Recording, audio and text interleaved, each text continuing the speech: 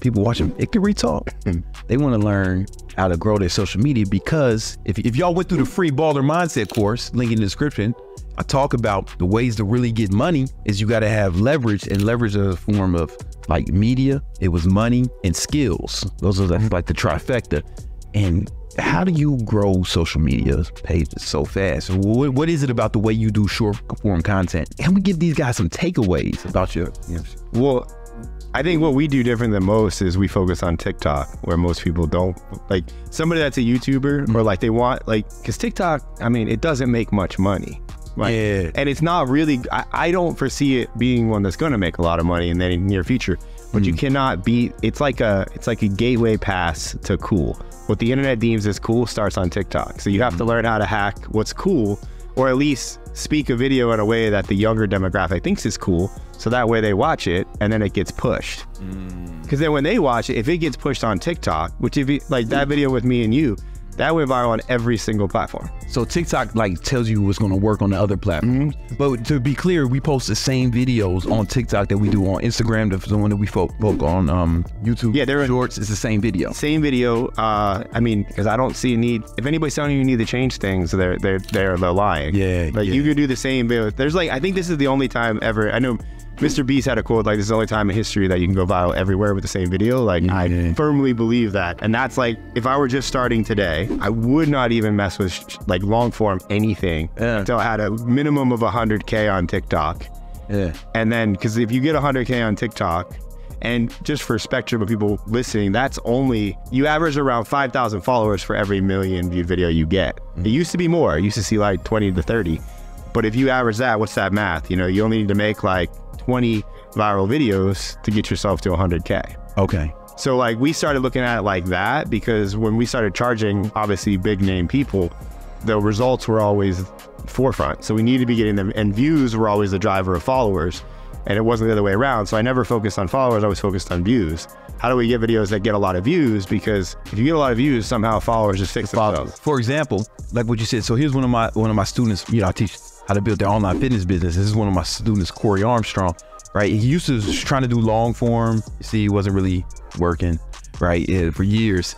Then, then I was like, listen, just focus on shorts. Just focus on shorts. You know, he's doing. He's doing good. Oh, yeah, it's good. Popular. But man, yo, he's crushing it. Yeah. So in one year, he went from like almost from like under a thousand subscribers to you know this year he got 160,000 subscribers, right? Just doing shorts, but copying. So this whole style of YouTube video, you you see this shit, right? You see somebody talking, and you see the shit on the screen, the words, and then the little graphics. Literally everyone you see doing that got that shit from Ryan.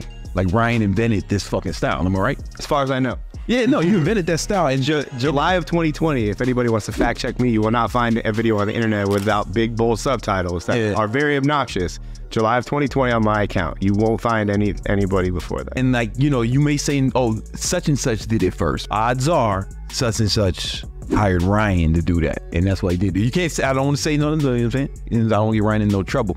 But like ryan started the shit and everybody including me and my students copy copy that style. And in this style of, of making shorts with the fucking subtitles and the graphics and shit like my man corey it's like that that got him to over to like 160,000 subscribers in one year. And that's on YouTube. He's probably got equal, if not more, on other platforms too. Yeah, no, no, that's still that's his biggest platform. Oh, is it- the yeah. shorts are banging. That's dope. I mean, usually, I mean, he should obviously post all that to TikTok. 'cause if- yeah, he but, does. He Yeah. posts. He posted it. I it. mean, it- it- it's different. Some people pop off on different platforms too. That's Yeah. what we've seen. But now you got you, you got like four chances. Yeah, Like every video, because you know we have TikTok, Instagram Reels, YouTube Shorts, and Facebook Reels. Yeah. Everybody be sleeping on Facebook. Facebook, I mean, my Facebook has, I mean, averages like five to ten million views a month, really. like on Facebook, and it makes money. Facebook Reels. Facebook Reels. Yeah, And you don't have to do anything. You just check the box, and Instagram just auto posts it to Facebook. Ah, So- okay, okay, that makes sense. I mean, Facebook ads on Reels averages it's around five hundred dollars for every million views. Hmm. Uh, whereas TikTok, well, now because I've been trying to get you to make your account, we'll do that tomorrow. Yeah. Uh, TikTok's paying around you know a thousand dollars per million views if you make videos over a minute, and that's just like extra money. it's extra money. Like you know, you, you get that five, five ten k a month and just ad revenue from videos you're gonna post anyways. Like Ain't no, you know, you know, I love extra money. I love extra money. And and here's here's why oh, I think short form is so powerful. I, I just want to share something. You remember when fucking you know Facebook does this thing. They've always just. When they see another platform doing something well, they fucking copy it. and then they try swallow it. and they swallow it, right? So they took they it, oh they bought Instagram instead of copying it, right? Mm-hmm. They bought Instagram, but then Snapchat came through, right? So they said, oh fuck it, Reels, right? And then they started going, and then they saw Periscope, and they said, fuck it, we're gonna go let let you go live on Facebook and Instagram. And I noticed in my life on the internet, every time Facebook wants to compete with an or crush another company, they like boost the engagement on that thing. So like when they were trying to kill Periscope, going live on Facebook was crushing. Sometimes I got videos when I went live, they got 100 million views. 100 million. And then when Reels first came out, everybody was getting crazy amount of. They, they pushed that thing more, right? And when they put Instagram, when they allowed you to go live on Instagram, they started pushing that more. And then it dies down. But right now, we got, we'd call it Meta, right? Because Meta is, fa- is Facebook and Instagram, right?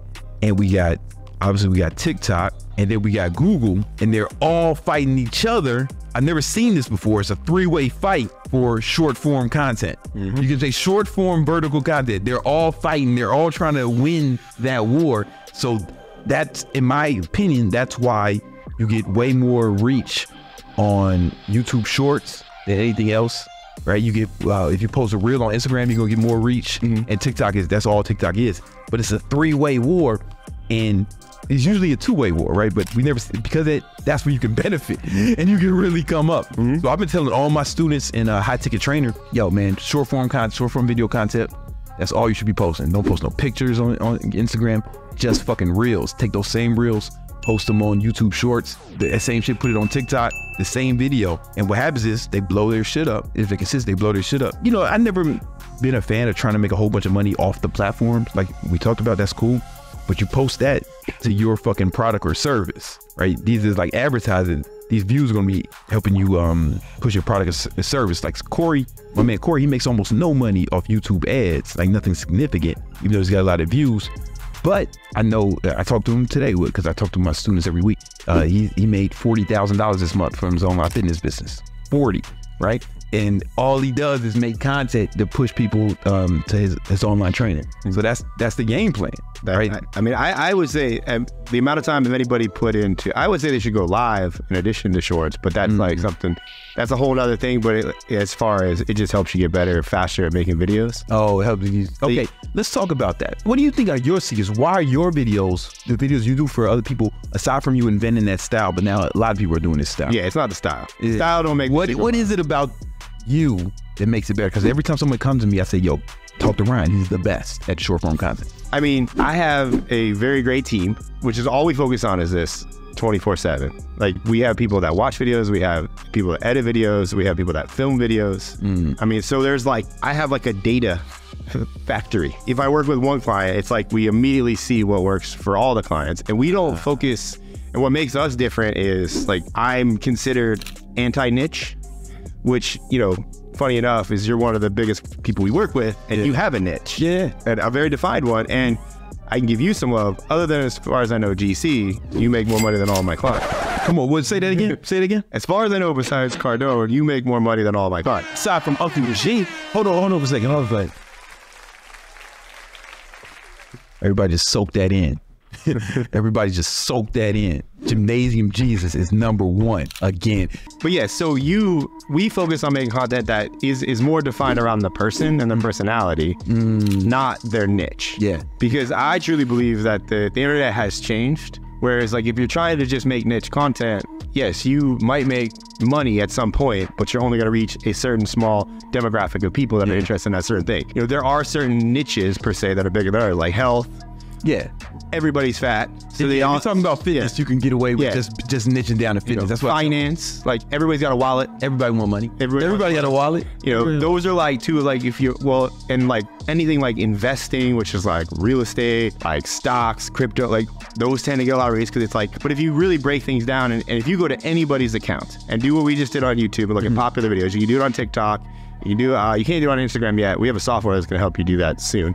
Um, but you just look at their most popular videos, and you can see that while they may think that they're making niche videos, all those videos are about like what we do, like watches, or here's how to invest, or here's how to start a business. Here's that. So you, people need to learn how to make videos that can attract a wide demographic. As far as the more shares you can get, the more people that are going to watch it. Is there a point where you feel like it gets too wide? I always look back at what we do with you. Yeah. We made a video about lobsters that went You did make that video. I, I, lobster. I mean, you know, we do a lot of stuff with you without like we just try, hey, let's see if it works, I break the rules. and, and it, it works. The test shit on me because it's gonna work because I'm doing. it. But one of the like the realizations that me and my team had was you had a video that we made about your PDD taking your un, the underwear back from the from the Oh, fitness yeah, monitor, yeah, yeah, which was a, just a story you shared personally. Yeah. That you articulated it well and had a good hook and it went viral. Yeah. And I, and you would think, what the fuck does this? How is this gonna make Brand any money whatsoever? It's mm-hmm. like about him giving his underwear back as if it is a model. Yeah. Well, that video alone on TikTok drove you like twenty four thousand followers. Twenty-four thousand followers. Yeah. You know, there's always a weird thing where it's like if you go broad, you may get more people, but if you do social media to make money, then it's like ah, all those people may not be helpful, right? Because they might not be the they're not your your client.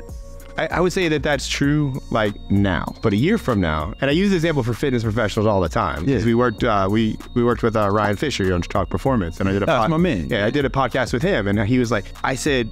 You have a program. If somebody finds you on the internet, maybe they find your niche content, they like your workout, they do your workout, they buy your program or they buy your coaching. Let's say they do it for eight to 12 weeks. Maybe they really like you and they stick with it for a year. Yeah. After a year, what happens? They probably get bored. They want to try a new program. Mm, that doesn't mean they don't like you. They just, Yeah. They're bored of your program, so they're going to move on. Maybe they go to CrossFit. Maybe Well, they go to. You know, No, I understand what you're saying. However, I guess the way I would push back on that is like if he goes so broad that it's like not even in his, it's not even somebody who wants to get fit. Well, Like, if you leave fit, if he leaves fitness, that would be too broad, right? to a, to a degree. But what I saying, like, so if you circle back around and they come back, so after a year, the only reason that they're going to stick around and keep watching you is if they like you as a person. Get Then they're going to stick with, with you forever mm-hmm. because they like you as a person. They may circle back around and buy your program again later on or join your coaching program, whatever, you know. But regardless, it's all about you and your personality. So, yes, there is like certain videos that are just purely personality based that is just going to make some random person just like you. But what's to say, odds are they follow you long enough, they're probably going to invest in something, whether it be a super chat on your live, whether it be, you know, your coaching program, whether it be thought repellent, like whether Yeah, they might they, they might eat some thought repellent. they might buy something if not now i understand that it's very hard to calculate an roi on that. Mm-hmm. but what i learned from working with the people that we worked with is yes money is always the focus. It's always an roi Mm-hmm. but it was adley stump who changed my perception of like views and niche videos. And she was the first client i worked with that she, like i would like give her a report every month. Hey you gained this many followers. You did Mm-hmm. this is what happened. And she's like i don't care. How many views did i get? How many views did i get? After like three or four months i was like I just stopped making the report because she didn't care anymore. I just sent her one number. Mm. And then I was like, why don't you care about followers? Because everybody I've ever talked to, because I come from the direct marketing world, Yeah. everybody only cares about cares about followers. Why do why do you not care about followers? And she said, because views are a byproduct. Followers are a byproduct of views. You get enough views, you're naturally going to get followers. Yeah. And those followers will buy something or do something or just continue to watch your shit.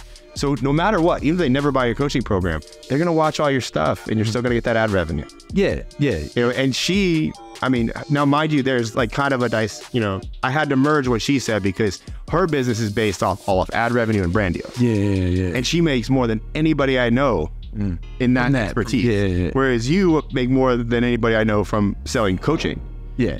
You know so it's like how do i take those two and i was like well broad reach education as long as the video is educating Mm-hmm. educating someone to a degree or touching them in some way as far as like a personal story or like a lesson then it's fair game Yeah. you know because that's influence Yeah. you know so that's and then we just saw early on because even on my account i was a niched video creator. I started my tiktok teaching other tiktokers how to make videos. Like now if you look at my first like 100 videos that's what they all are.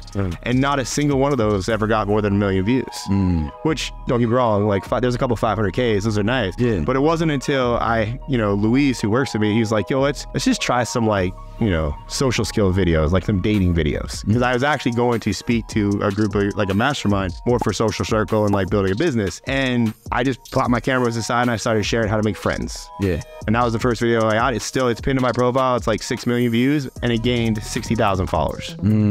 So you, uh, so what what I'm hearing is they got to have a business model already anyway, right? And then if they, it's just like you want to get it, you for your strategies, you get as many views as possible, and then if they have a business strategy, then they'll still make money from whatever their business is. Yes. Because a certain amount of people within those views uh, will will still want to purchase the product, right?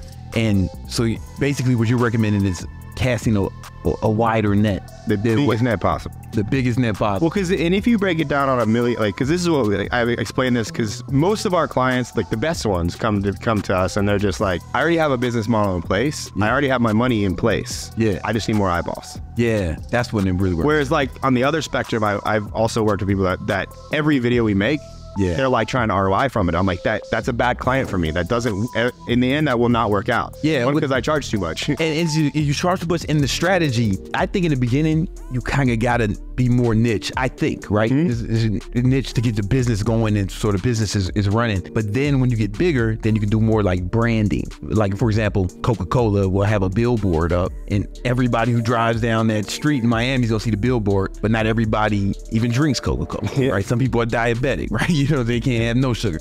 So, but they just know that enough of the right people will see it. And that's kind of how I think about it now at the, at the place I'm at, where it's like, okay, I can go super broad and it, it doesn't even matter. Well, but the but the way that like uh, if you get a million views and I, people just don't, I don't think they register what happens when you get a million views. Mm. So when you get a million views, yes, the, the only way that that happens is if somebody starts the video yeah. and then watches it till the end. Mm. So 50% of the people that do that like watch your video all the way start to finish. So on a million views, that's 500,000 people. So now 500 people have just told the algorithm, I really like Brandon Carter. Yeah. The way he explained lobsters had me cracking up. Yeah. Now, of those 500,000 people, how many of those people are out of shape?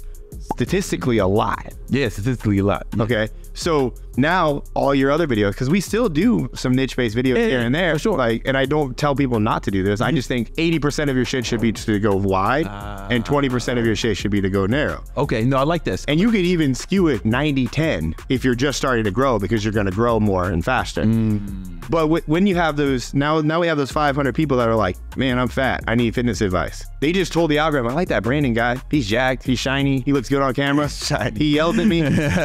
now all your old videos Mm, are going to get, are they going to start seeing those? And they may not swipe away on some, like some other ones. But then it's like, okay, now we have, you have a lot of watch videos. So now you have a viral watch video. Let's say that gets 5 million views. Now 2.5 million watchers. Now, It's just, I would rather work with a pool of big, a, a larger audience than a smaller one. Because even if you made the best ab workout video, you know, you might see a million views on it. Mm-hmm. You know, because not a lot of people are trying to get abs. There's still statistically more people that are trying to make enough, make more money than want abs. Everybody wants more money. They know abs is hard work. Mm. You know? Okay, okay. So it's like, so now if you just made, here's how I get my money videos, Yeah. you're gonna surpass ab videos. And then if you go, oh, well, here's how to sleep better, now you're gonna surpass abs and money because everybody sleeps, you know, or here's a morning, sorry, morning routine videos. as well. Everybody sleeps. everybody sleeps. Everybody sleeps. Everybody wakes up. They have a morning routine. Everybody wakes up. you know, so it's, Almost. you know, it's, it's, Unless they fuck with my money, in which case. but the, but the point being is if you're if you're basing a model of like I need to make a certain number of videos every month, break it down to like okay, you know, which I recommend. Like it, it used to be you could get away with one video a day. Like we've switched pretty much all of our clients to two videos a day. And a lot of people talk about my growth on social media and your growth on social media. I post nine videos a day because I'm not as cool as you. We post six to eight for you. So you have to maintain a high volume of content for a long Six to eight uh, around different platforms or all in one. that's six unique videos every day to TikTok, Reels, Shorts. I'm posting six videos a day on shorts. Holy sh! Yeah, that's why you pay a lot. We out here. but but yeah, so now I don't recommend it's like working out. Like you're not gonna start making videos today and be able to sustain, you know, being able to crank out 250 videos a month. Yeah. Like that's just not like you it's like a muscle. But if you remember, like people like like love to talk about your growth, but I'm like, well, Brandon's work was for like almost two years. Mm. The first year, like we almost got you to 100k. On on Yeah, on on, on TikTok. on TikTok. Yeah. And then it was like, hey, I want to go harder. So we went way harder. way harder. And it took like less than a year to go from 100K to 400K. Yeah. You know, but the, the more impressive thing is just the view. I think people should get away from, or like the follower count. Ah, and look at the views.